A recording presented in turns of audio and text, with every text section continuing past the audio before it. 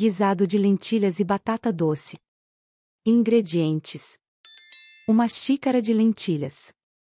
Uma batata doce em cubos. Uma cebola picada. Dois dentes de alho picados.